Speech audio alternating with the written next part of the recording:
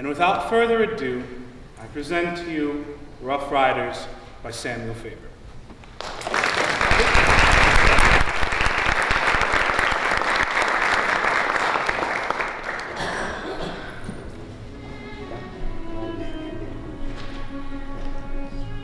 Phew, you've been practicing, Leonard. Not really. I haven't thrown this thing in a while. You're the only person I play catch with. Ain't nobody else in as of good a shape as you are. How many people do you know? Well, when you're friends with Teddy Roosevelt, who else do you need? Kiss ass. Ah, oh boy, oh boy. Do you want a drink? Uh, sure, how about a whiskey?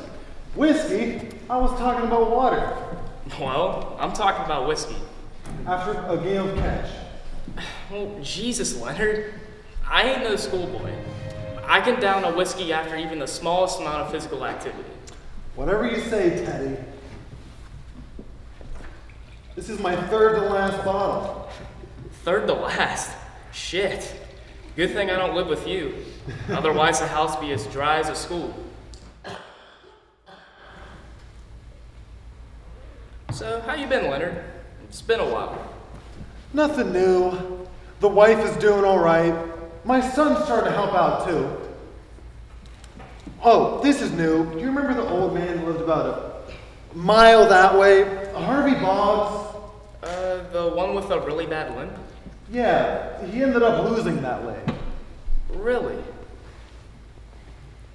Yeah, just a month ago. He told me that happened during the war. I think he told me it was Gettysburg when it happened. Told me the trench foot just stuck with him, and it never messed him up too bad till right now. Of course he noticed it, but didn't want to tell any doctor about it. It ended up traveling up his shin and got all infected. What a shame. But you're a doctor. You didn't want to save his leg or what? Ha! You have never met Harvey Bonds. That man was an ox, you know, all stubborn like. He wanted to put up with whatever problem he had going on with himself. Dumb bastard. He never asked for any type of help. I mean, he lived by himself, never married, no kids. He did everything himself. Well, it's not like he needed it. And he had a fine piece of land, too. I guess so. You still think that war's gonna happen? The one in Spain? Yeah. Well, well, of course. After all the talk from the senators and secretaries, it seems like it's about to happen. What made you ask? It just slipped into my mind after talking about Gettysburg. I've been meaning to ask you anyway. Are you gonna fight? When? When's the last time you've ever seen me run away from a fight? Well, good. Uh, so have you seen my new plan? You made a battle plan already. Potentially. Well, tell me. Well, this war is a big one for our country. There's a lot of people depending on this war. So we need a good plan. Our country depends on it. And we do have a plan. Would you like to hear it? Tell me. Oh, I'm starting a cavalry unit. Oh. Well, good. I'm not surprised. All your accomplishments definitely qualify you to lead one. You know, they don't just let anyone fight for a cavalry unit. Well, mine's a little different. It's going to be a volunteer cavalry unit. Volunteer. Listen, I know this seems like it wouldn't work, but I really think it could. I've been thinking about this for a while. We'd be selective in who we choose, obviously. We can't just let anybody join. We could talk to people and see if they're interested. We could talk to ranchers, men who obviously know how to ride horses. I even thought of encouraging college students. They're young, smart men. Hell, most of them play for their college football team. I even thought of including vets who fought the Apaches. That way we have men with experience. We could talk to coal miners, ranchers, hunters, anyone really. It seems like we're living in a time where almost everybody is doing something that the average person can't do. I believe that these men's and these men's lives, their own difficulties will surely transfer to the battlefield and make them great men. But are the things they've done in the past that great to put them in a cavalry unit? Possibly. Now, I know their job titles, but I don't know what they've specifically done. But with that being said, I'm sure that they're doing things that most people can say they wouldn't do or would even think of doing, including myself. I'm intrigued. You kept saying we, though. Well, of course. I want you to be my commander. Me, not you. Well, yes. I mean, you've won a Medal of Honor for Christ's sakes. You know war. We both know you know how to lead men. Sure, I'll be there in part, but I want you to be the man in charge of it.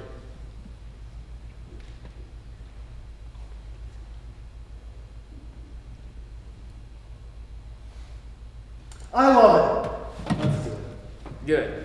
I was hoping you'd say yes. Let's just hope that you're better at leading men than you are at throwing a football. You said that I did good. I said that you did better. I'm just kidding. I'd say I have to be going now. I'll keep in touch about the unit and work on that spiral. Yeah, you better work on your Bronco riding, partner. Yeehaw!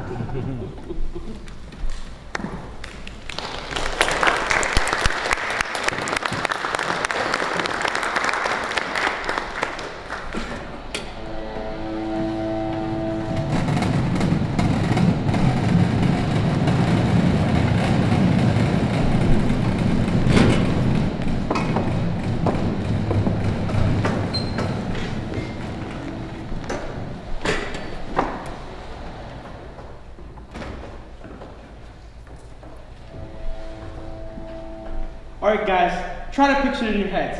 It's fourth down, right? We're down by only two points. The ball is placed about 10 yards to the goal zone. It's pouring outside. We're all covered in mud from our clothes to our faces. The crowd left because they didn't want to get all wet, but we stuck through. We kept playing even though we were absolutely miserable. We're all tired now, but this was our last chance to score a touchdown and win the game. I carried the ball with me past one defender. Quincy blocks another guy. I went right behind him, and I saw the goal zone, clear as day. I ran, I ran, and then, Fumble! yeah, I fumbled. The quarterback hit me. I stayed my feet, but the ball just slipped out. Rolled for a while, I think. Then the big fella from Yale grabbed the ball, and the game was over. so easy. Yeah, ball, you did the same thing. Come on now. See these hands? There's no way that ball could have come out of my hands, rain or dry. What other quarterback in the league has hands like these? You sure as hell don't. I should have been out there for that play. Don't give me that shit, Bob. You did the same shit. Well, it's a good thing you boys ever played us Princeton men. Ha! Everyone knows the men who attend Princeton are men who didn't have the brains or the balls to attend Harvard. Well, at least we win football games, you butterfinger jackass. Well, at least I ain't like black, you slow some bitch! All right, hey, let's just calm down. There's a point when friendly bantering turns into bickering, and I will have no bickering on this ship. We're in the Caribbean fighting to prove our unity. Now, you may not have been teammates on the field, but you are now. And with that being said, you do have the balls and brains, sir. Boy, oh boy. Boys are so lucky you're out there playing that game. Why, if I'd have been going to college, I bet you that I'd been the team's all-star and linebacker. Breaking skulls wide open and not taking any names. Probably not taking any wins either. Oh, what? oh, come on now. You're laughing in my ear again. What ear? Hey, Princeton, way to use your brain. You have to admit, it's pretty funny.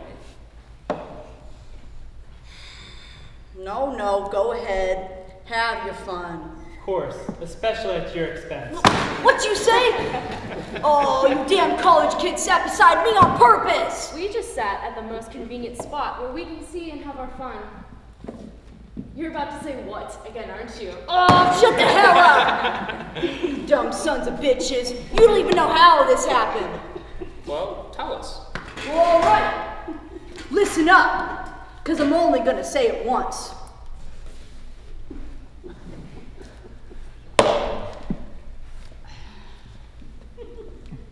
Back when I was the marshal of Dodge City, we had a run-in with the Horace Greenbelts gang. Now, these men were some hard-nosed, drunken, dumb as hell Okies who got kicked out of OK City. Well, I remember you telling me that Dodge City was full of trouble. Always. Didn't help that these boys were from out of town. Anyway, I catch word they've been holding up Mother Meredith's saloon in town, trying to take hold of all the brandy, tequila, and mezcal they could find. I walked in when the commotion was just getting started. Mama Meredith come up to me and she's telling me what was happening. And all I thought was, oh shit, here we go. Time for Deputy Marshal Benny Franklin to kick some ass again. I turned to Mother Meredith and I said, Mama Meredith, you might want to wait outside for a while. You don't want to see this. I turn around and I yell out, all right, party's over. One looks at me, then another, then they all do. About five or six of them.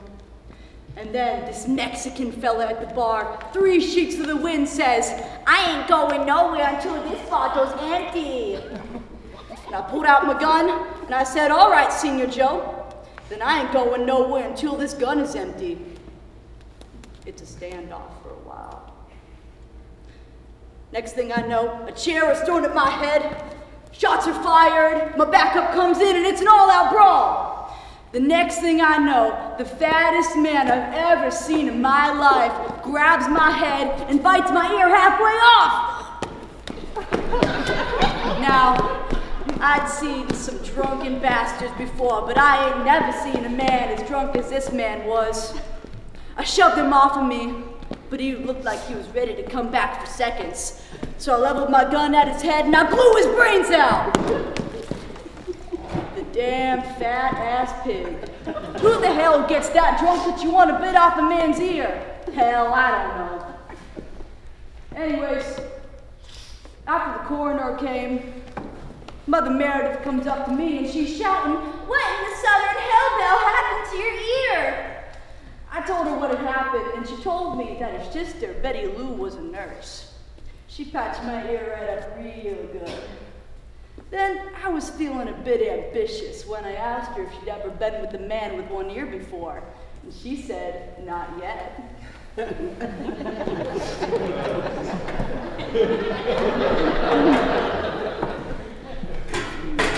Sounds like quite a story there, Benny boy. I've seen Betty Lou at the saloon before. I bet it wasn't that happy. oh, you dumbass! You all can go to hell! Oh, hell. They're just kids, Ben. They're upset because you topped their story. But I'm not sure your story beats my hunting story. Oh, I love a good hunting And story. you're gonna love this one. About a year ago, I was up in hunting elk in the Colorado mountains. Wasn't like hunting bighorn with Teddy, but I never had anything like this happen to me before. No offense. I'm flattered. Good. Well, I was out in the woods, and the snow was coming down that day. You wouldn't have believed it. The area I was hunting was full of brush and trees, and I could have easily missed a great big elk and missed my chance for sight. So I looked around and I saw a tree, decided I'd go up it.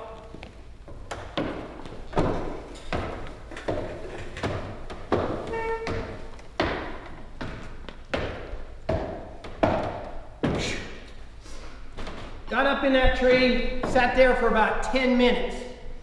Didn't see anything. Was thinking maybe it's a bad idea. So I got out, went out on a branch, and I heard behind me the snow was crunching, Brush was breaking, there were twigs breaking, and I knew whatever it was would run off if I turned around and I had to look. So I said a little prayer. Whatever it is that I can see will come into my sight. Now, if there was any prayer in my life I wish I take back, it was that one. Because it came out weren't no elf. It was a great big black bear. I mean, it was enormous. You can't imagine how big this was. And you would think they wouldn't see me because I was up in that tree. But I assumed that this bear walked that same path his whole life. And today it was different. He knew something was different. He assumed that things weren't the way they ought to be. And he knew this day was not a normal day. Well, I stayed up in that tree and I stayed real quiet. But it didn't matter. Because just something then gave him the premonition to look up. We locked eyes. He came right up that tree. He started to climb and climb, and he got both feet off the ground, then he got his hind feet off soon, his claws just about grabbed the end of my boot. I knew right then I had to think fast. I grabbed my muzzleloader, I pointed it at his face, and he opened up with an enormous roar. I took aim and fired. You knew that was a big bear from the vibrations in the tree when his body. I just stood and looked at that nightmarish carcass on the ground. Christ Almighty, what'd you do with the body? Well, that was the first day I cooked and ate bear. I dragged him all the way back to my cabin. I skinned him, which took forever. He was huge. Then I cooked him, ate him all by myself. Well, that is a hell of a story. I suppose. What do you say, Captain? Ain't that a man? You claim shooting a big, soft, cuddly bear makes you a man. You think you could do better? I'd like to see you in that tree. Why? You think I couldn't handle it? I just think you don't imagine how big that bear was in your simpleton mind of yourn. Well, if it was the size of the army of the damn Apaches, I think I'd have my work cut out for me. Not the Apache stories. Not just the Apaches, the damn Apaches. And we had to listen to that bear story, so I don't want to hear no lip. Besides, you'll be on the edge of your seats for this one. So there I was, out on the river, searching for water to bring back up to our camp. It's pretty simple, like the other days I go and fill my canteen, except I heard some screaming. A man screaming. I followed the screams for about a few steps until I looked down a hill. And I saw one of our soldiers, George, surrounded by three Apache bastards. The savages scalped the man alive. Thank God Almighty I had my Krag with me, or else I would have been a dead man when they spotted me. I used just three shots in him in under five seconds. Bang, bang, bang. Well, goddamn. Did you help him? Well, son, this poor bastard is far from living, yet so far from death. If I walked that way before he started screaming, I probably could have saved him. I walked down that hill and he was just disoriented, wailing, crying in pain, holding the top of his head together. And I say together because they didn't scalp him all the way. Those savages sliced his head halfway through. I just stood there and watched him roll around in pain until he looked me in the eyes, screaming like a banshee at the top of his lungs, and I had never seen anything like it in my life. At that moment, I realized he wasn't holding his skin into place. He was trying to rip it off. Something, I don't know if it was the spirit of the dead Apaches possessing him, trying to finish the job, or if he just gave up. I couldn't stand to see a man in that condition because I knew there was no saving him. All I could do was say a quick prayer and send him up to heaven, earlier than he should have been. You killed him? Like I said, I was a changed man. I've known George. He was the first man I ever trained in our company. I knew him very well. He was a very soft spoken guy who never had anything good or bad to say about anyone. We've been through a lot of battles together. After what those savages did to him, it was like he was broken.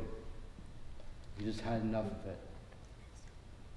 It was all by the hands of those damn Injuns. Hey, calm down. We have one on this ship tonight.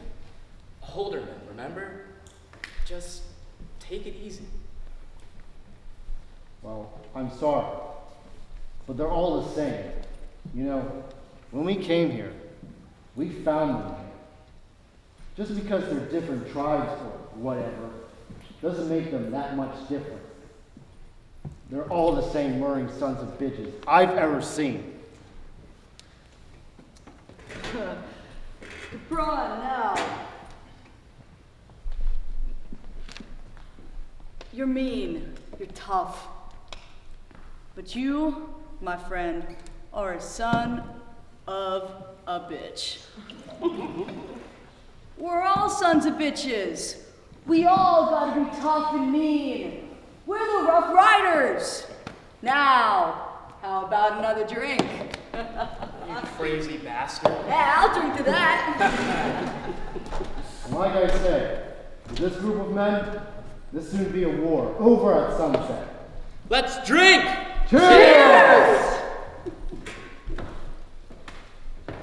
A toast to the start of the cycle. Was that Bucky? Yes, it was me. What did you mean? Well, you know, the cycle of war. We don't like someone, we attack. They don't like us, they attack. We toast to our victory or the fall. And then it just repeats. Aw, come on. Ah, hell with it. You know exactly what I'm talking about. I can't believe you would still choose to fight. Being a battlefield doctor, I am sure you have seen more gruesome casualties than any man could in his entire life, or soldier. Well, yes. But someone's got to do it, right? Now, I fought the Apache too.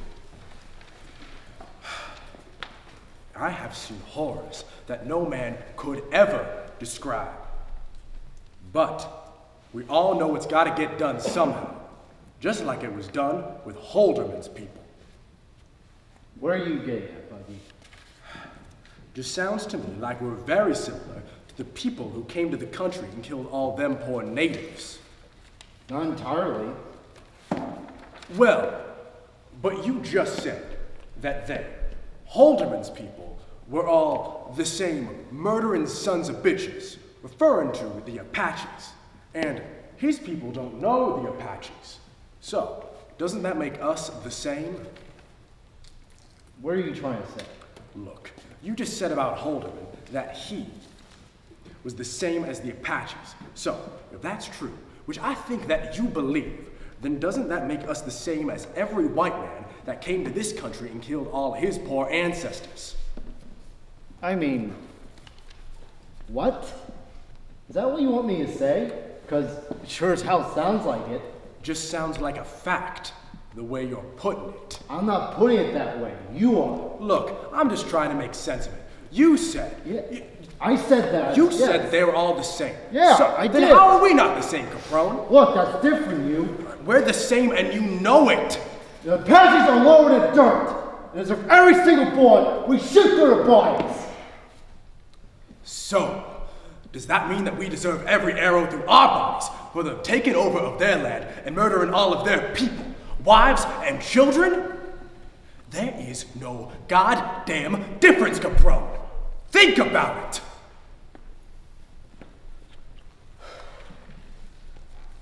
Okay. All right. All right, think about this. Where would we be right now if we didn't do that? Probably not in a world that is so full of shit. Fuck's sake! Look, you know I love this country just as much as you do, but you gotta admit there are just some things that are horrible right now. Okay. So let me see if I got this right. You're not just you're not a traitor. You're just weak. You claim to fight for your country, but you can never lead it. If people like you were in charge of our country, then it would really turn to shit. It is not cowardice. Then what is it? How would you explain it? Why would you choose to talk things out within our country than being a man and standing up for what you believe in? Would your father be happy with your decisions? To back down to a country when they're ready to take over your land, pillage your town, and kill your wife and kids. You got a son. He just started his first year at secondary school. I bet you're proud. And a daughter? She just turned four. I remember when I came over to the house that one time. She was cute as a button with her blonde curls, giving her dad a kiss on the cheek before going out to help her mom in the countryside garden to pick garlic and tomatoes. Now imagine coming home one day and finding them in the same condition that I found my friend George. And all that shit would happen because their dad didn't have the fucking guts to stand up to the bad guys coming to our country. I don't think you want that. So why then? Why do you choose to be so passive? Because I still believe in humanity. I believe that since we claim that our country is so great and that we are the greatest country in the whole wide world, then we can learn to stop the bloodshed, the carnage, the anxiety, and the horror that is war. It is not weakness. It is progression. And don't you dare try to tell me that I don't know what the hell I'm talking about, because I do. When I fought the Apaches and when I was doing my time in Arizona, I committed the most horrible crime any man could do. You boys ought to listen to this one.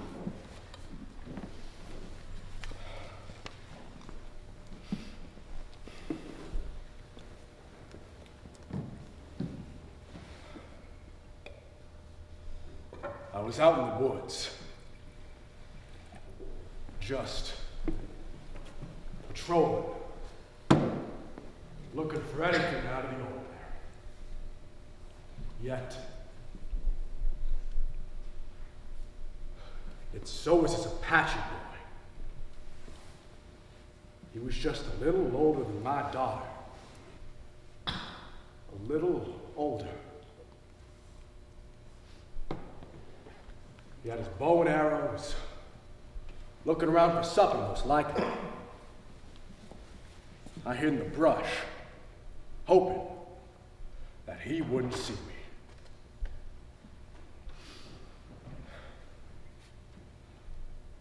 But I swear, he must have walked that path for his whole life. You see, that day, he assumed something was not right. When he looked at me, aiming that arrow, I knew I was dead. But something stopped him. He was crying. I don't blame him. I would have done the exact same thing if I was in his shoes. I knew no arrow was going to stop him from killing me. Have you ever seen your enemy cry when he's about to kill you? When he's trying to do the exact same thing his enemy is doing.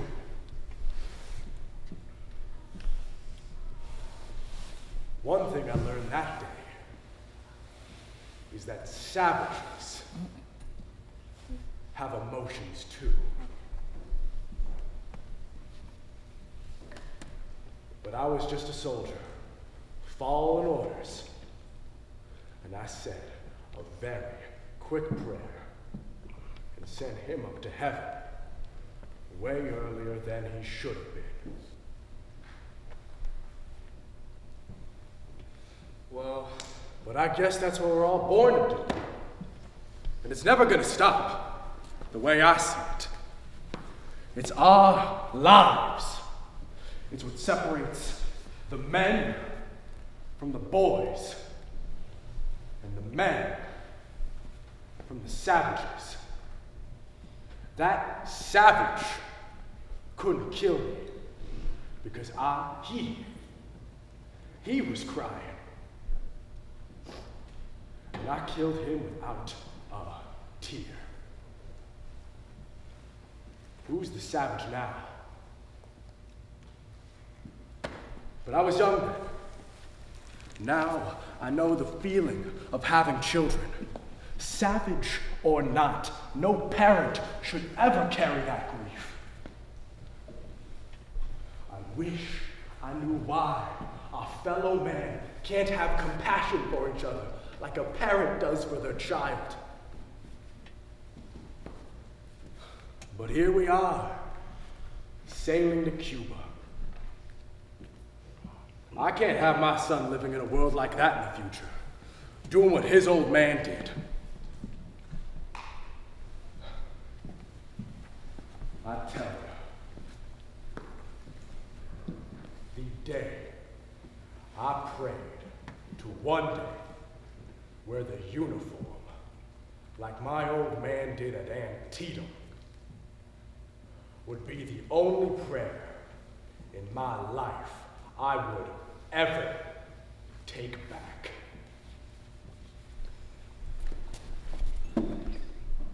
say we ought to call it a night, boys. Head to your bunks. I'll wake you in the morning.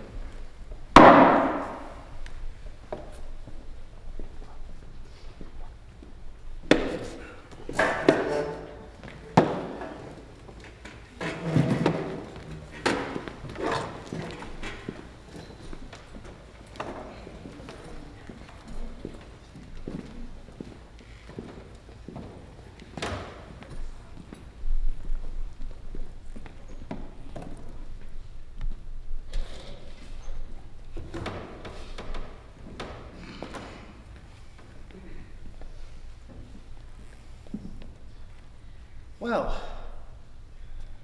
Quite a night. I'll say, are you still having doubts? There's not a single doubt in my mind. Really? I thought that you would be regretting this whole thing by now. That you would think that this would be a bust now that everyone's going soft. I'll talk to them in the morning. But nobody on this ship is going soft. We're just telling stories. You're a religious man, aren't you, Leonard? Yes, of course. And you know how Jesus died. Of course. Of course. Do you know that crucifixion is no longer a method of execution in any other country in this world? Know why? Because it's a barbaric way of killing a man. You see, you just hang there by the weight of your palms hammered in with nails. And then you just wait there, waiting to die. And Jesus carried that thing with him for miles to a place where he knew they'd kill him. That'd be like wearing a noose as a necklace, walking into town square just to be hung with it.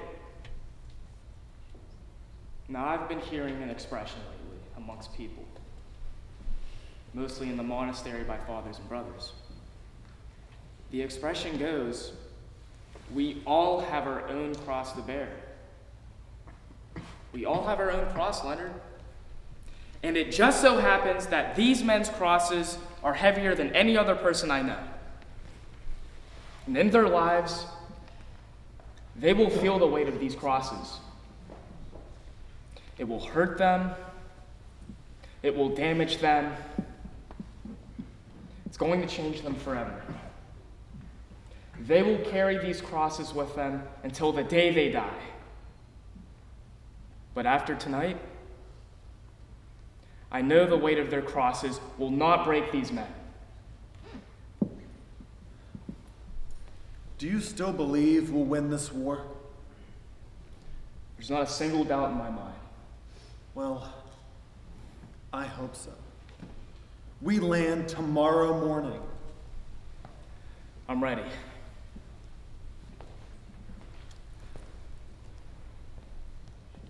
You going to sleep? My cross hardly ever lets me sleep.